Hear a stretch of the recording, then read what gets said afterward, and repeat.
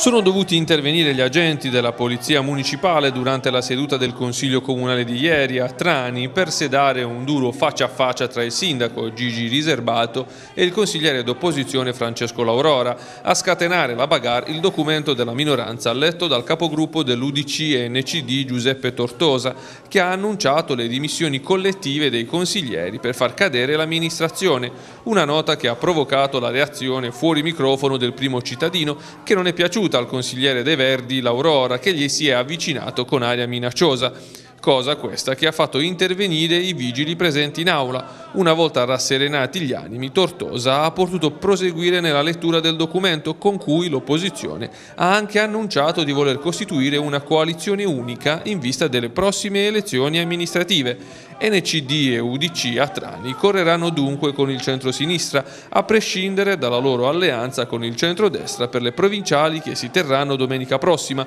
Nel contempo la minoranza ha anche sfiduciato il sindaco Gigi Riserbato, invitando gli altri componenti del Consiglio a contribuire al raggiungimento delle 17 firme necessarie per le dimissioni collettive.